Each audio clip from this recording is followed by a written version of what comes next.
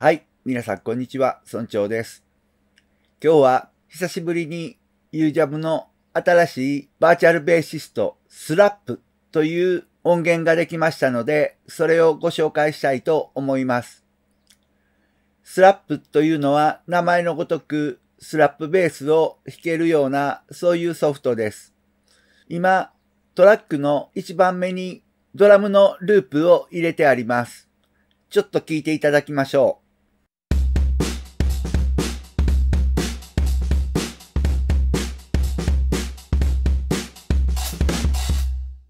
このようなループです。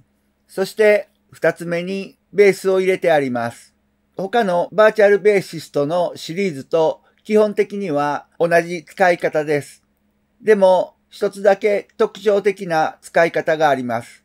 このコモンフレーズというところに、フィンガーというのとスラップというのがありまして、これを切り替えて使えるということです。ちょっと聞いてみましょう。音源とかを選ぶときは、ラッチというのを押します。そして、この C3 からの2オクターブ半、ここをどこでもいいですから押しますと、サンプルが聞けます。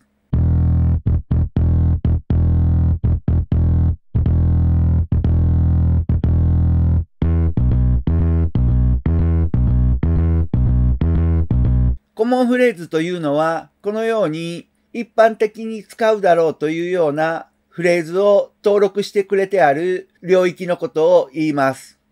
ここでフィンガーとスラップを切り替えてみたいと思います。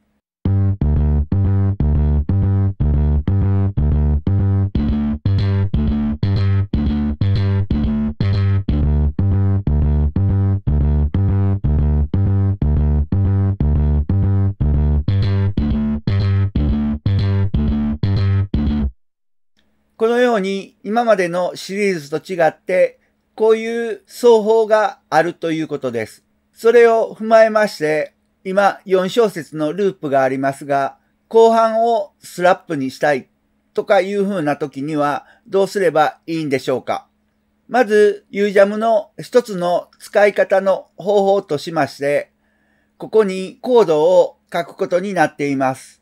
スタジオ1の場合は、このようにコードトラックを選択しまして、下に引っ張るだけでいいわけですけれども、ここでオクターブが5という風になっています。この5というのは、スタジオ1の約束ごとで、オクターブ3の領域に入る、いわゆる2つ下がった領域に入るようになっています。ユージャムの約束ごとでベースの場合は C3 から2オクターブ半の領域に入れることになっていますので C4 あたりの領域に入れようと思います。ですからこれを6という風にしておくと便利です。後からオクターブを変えてもいいんですがこのようにしまして下に引っ張ります。するとこのように4の領域に和音が入るようになります。先ほども言いましたように、後から変えてもいいというのはこういうことです。こうやって後からオクターブを変えてもいいんですけれども、一発で4の領域に入れようとしたときには、この部分を6という風にすると便利です。このように和音を書きますと、これをそのまま再生するとこのようになります。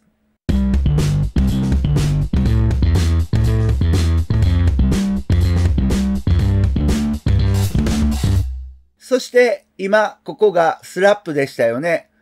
フィンガーでもう一度聞いてみます。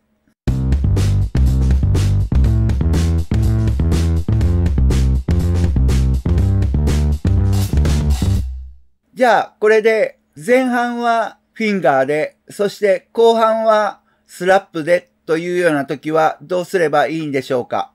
どの DAW でもこういうようなやり方ができると思うんですが、スタジオ1の場合はこのボタンをクリックしますと画面の上の方に VB スラップ、そしてここフィンガーと今なっていますが、ここで A というボタンの隣の手のマークをこうやって引っ張ってきます。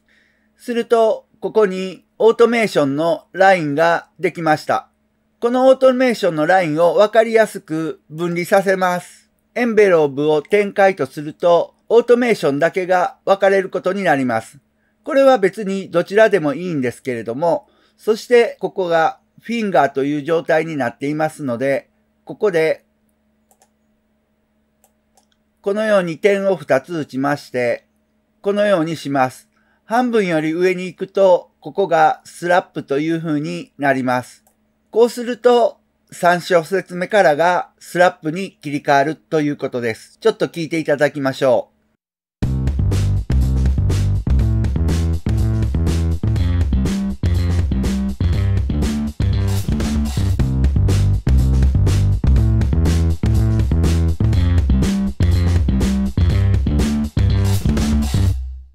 こういう風に切り替えれます。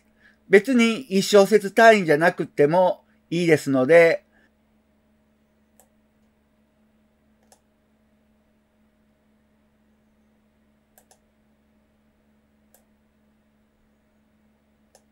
こういうような形もできます。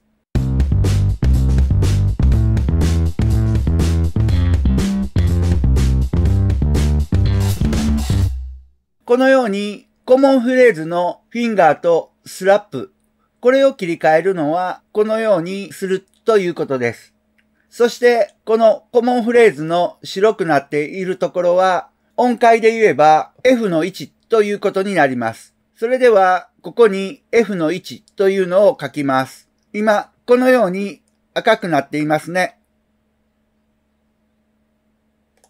このように F の1を書くわけです。ユージャムの場合、この領域にスタイルフレーズというのがありまして、たくさんのスタイルというのがこのように選択できるようになっています。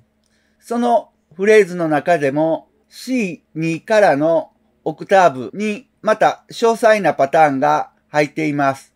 ちょっと試してみましょう。ラッチをまたクリックします。そして鳴らしてみます。ここを選んでおきます。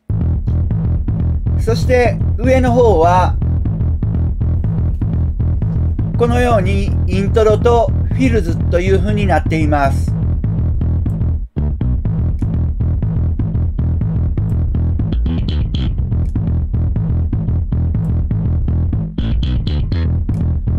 こういう風にいろんなパターンが12音入っているということになっています。一番右の下だけがストップとなっていまして、音が止まるという風になっています。では、ここをどのように使えばいいんでしょうか？一度、この音は消したいと思います。そして、鉛筆で、こっから3小節は、ここを弾くようにします。そして、スラップは、先ほどやりましたように、シのフラットぐらいがかっこよかったので、ここにこのように書きたいと思います。そうしましたら、ここで演奏させるとこのような結果になります。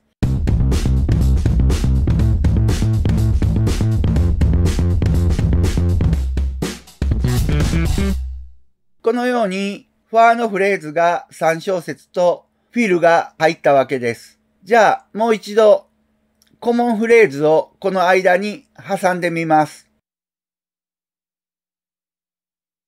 このようにやってみますと、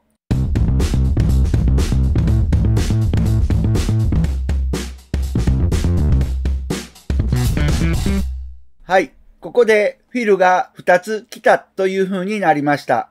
ここはフィルのパターンですので、これをもう一つ上の発見のパターンに変えてみます。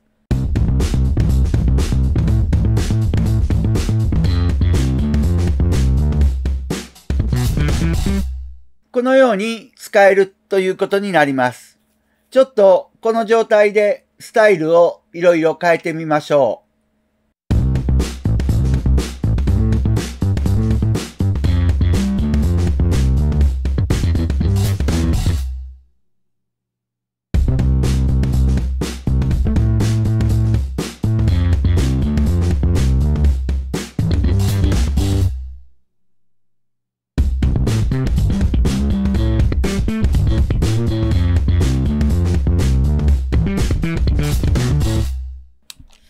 かっこいいですね。このように名前のごとくスラップのフレーズがたくさん入っているということになります。次は前後してしまいましたけれども、ここには音のパターンというのがたくさんあります。ベースの音自体をここで切り替えるということになります。ちょっとプリセットを変えてみましたので、聞いてください。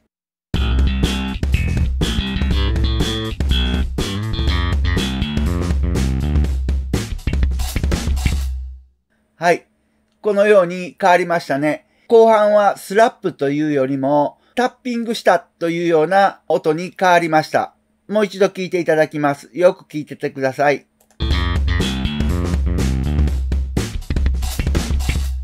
こうして音自身もプリセットがありまして変えていけるということになります。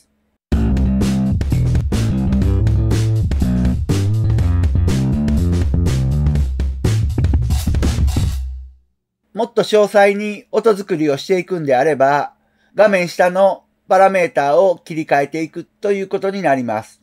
鳴らしながら切り替えていきます。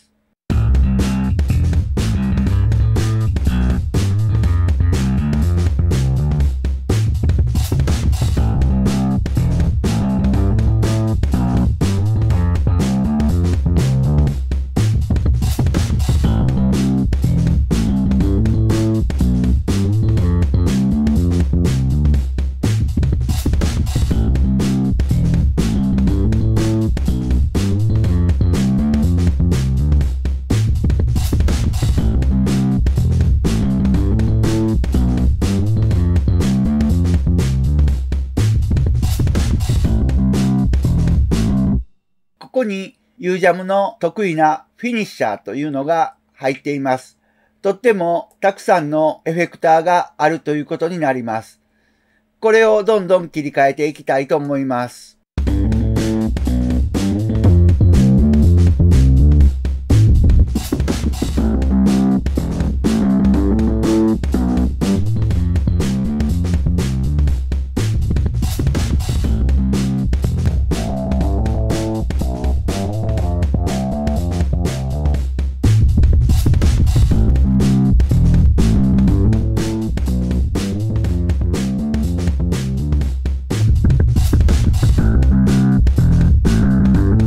そしてここに EQ やコンプレッサー、こういうものもありますので、うまく使ってください。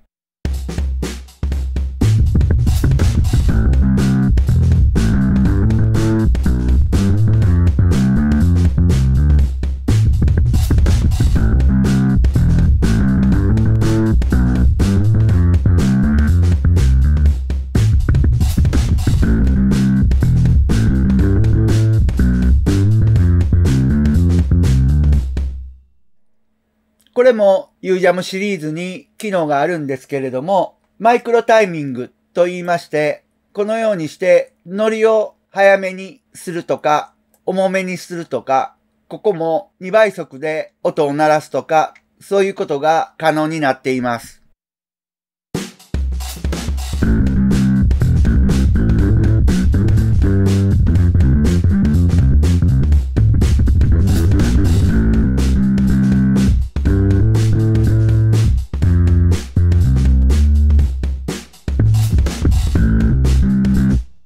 してここにはスイングもあります。ちょっとドラムがあったらわかりにくいのでドラムをミュートしておきます。スイングを大きめにします。